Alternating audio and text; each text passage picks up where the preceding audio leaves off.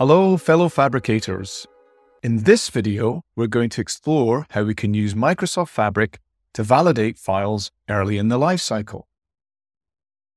We will be working on the Titanic Diagnostic Analytics data product. This adopts a medallion architecture to ingest, process, and project the data by promoting it through the bronze, silver, and gold areas of the lake. The purpose of this data product is to create a Power BI report that allows users to interactively explore the Titanic data. In this video, we're going to focus specifically on processing data that has already been ingested to the bronze area of the lake. So we're aiming to load, validate, clean, and standardize the data before writing it to the silver area of the lake. In this series, we want to show how Fabric can deliver important data ops principles. So we're going to take the opportunity to show how we can validate the data and then alert relevant people within the organization if data validation issues are encountered. We all know the saying, rubbish in, rubbish out. So the principle here is to enforce a data contract that sets clear expectations around the quality of the data we will accept into our pipeline. In this case, we're going to use a Fabric notebook, importing a popular Python package called Great Expectations.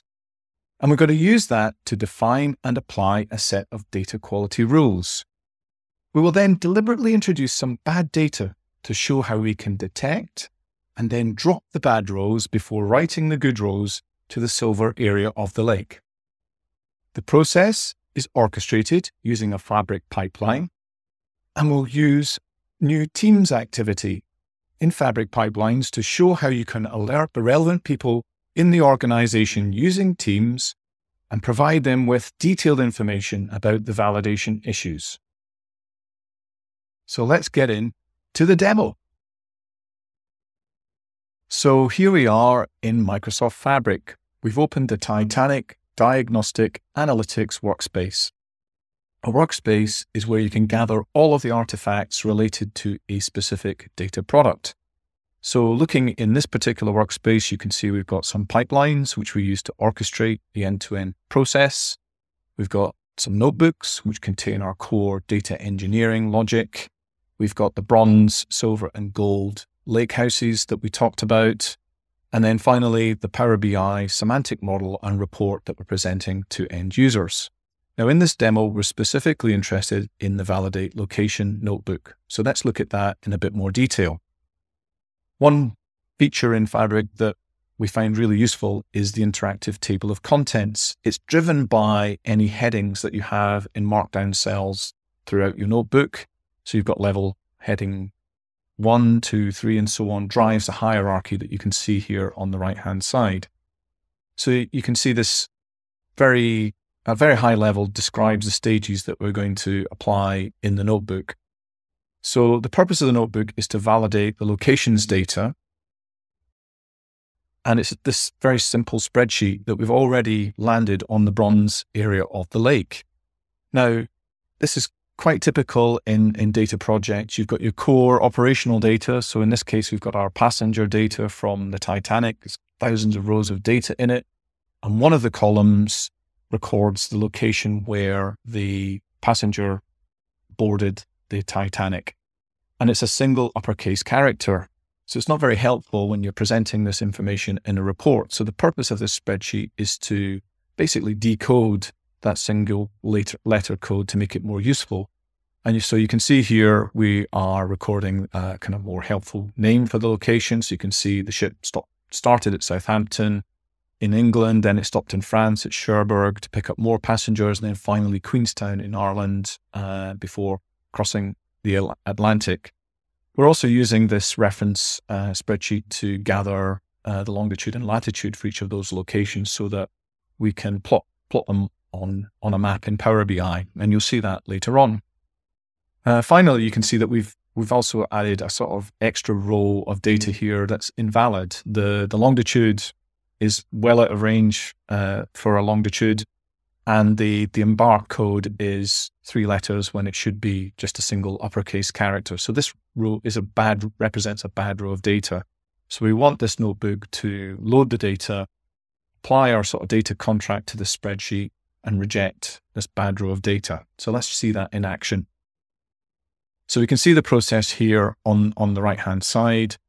We're going to create some expectations, load the data into Pandas data frame, apply our expectations to that data. If we detect any bad records, we're going to remove them. Then we're going to write remaining clean records to the lake. And then finally, we're going to exit the notebook, but providing detailed context of any validation issues that were encountered. So let's have a look at that in a bit more detail. So in terms of setting up, we're running a couple of utility notebooks that contain code that we're using across other areas of our solution. The first is a helper to help us set up the Great Expectations suite and then deal with the, the output from the validations that we run using our expectations. And then the second notebook helps us to set up our logging. So here we're setting up a connection to log, log analytics in Azure and that allows us to centrally capture all of our uh, logging uh, to support that observability data ops principle that we talked about earlier. So now we're into the core function of our notebook. We're going to validate locations. So we set up an expectation suite, we give it a name, and now we're able to create individual expectations. Now, at this stage, we're not running the expectations, we're simply configuring them as a set of rules that build up to create our data contract. So the first rule is around checking that all four columns are present in the spreadsheet that we're expecting to be there. The next rule checks that there are at least three columns in the data. So we're applying some domain knowledge here. We know that the Titanic visited three locations. So we should expect three rows, at least three rows in the data. We then check that the uh, longitude and the latitudes are in acceptable ranges. So there's clear limits to those uh, based on the world being a globe.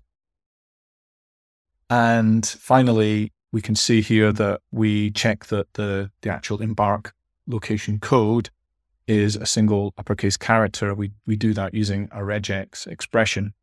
And throughout all of these expectations, you can see that we've used this sort of metadata to capture additional useful information that we can play back to end users should any of these expectations fail. And you'll see that in action later on. So now we've got our contract set up. We can now start to apply it. So we load the data from the bronze area of the lake. The, the spreadsheet that I showed you has already been ingested and landed on the lake. So we can use pandas to read the, the data from that Excel sheet we can log any exceptions along the way because we've got our logger now set up. And we can display that data. So you can see here, it's faithfully loaded all four rows of data from that spreadsheet. We can then apply our data contract, our expectations to that data frame. So we pass the data frame to Great Expectations and ask it to validate that data. And you can see it's a is apply the validation process here. One of the outputs from that process is a list of indexes or row, row indexes in the data frame that have failed validation. So we can use that to remove those invalid rows and therefore generate a clean set of data. So you can see here that we've we've got three clean rows of data uh, we've removed that bad row of data from, from the location information. So we're now in a position to write that data to the lakehouse. We do that by using Spark, the Spark engine in Fabric. Uh, we create a Spark data frame from our Pandas data frame, and we use the Delta format to write to Lakehouse table. So we're, we're writing the data in a structured way using a standard format, which is Delta, into the lake house so that we can then use it downstream. And you can see here we're using the overwrite mode. So we're not appending the data here. We're just basically, we've got a new reference data set and we're, we're overwriting anything that was in that table with this new data set.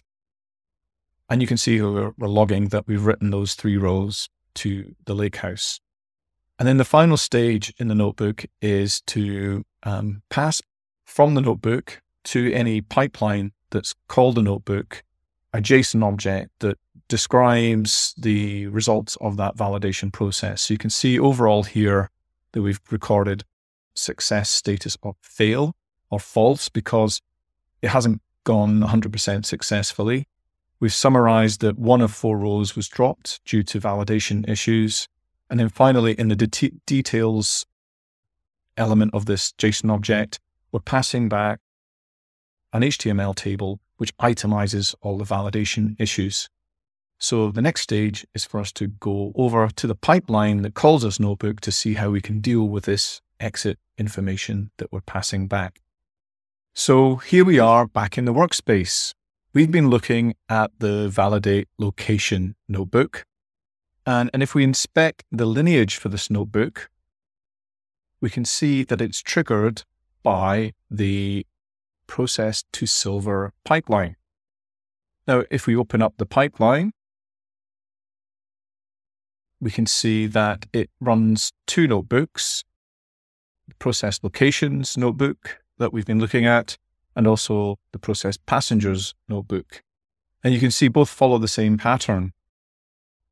What's happening here is that the, the notebook is run and the pipeline is then catching that exit value that's returned by the notebook. And that's used to drive this if condition. So if we drill into that in a bit more detail, we can see that the expression here picks up from the exit value that success element, which is in the JSON object. And this is a Boolean value. So it's set to true or false. And that's used then to drive the subsequent action.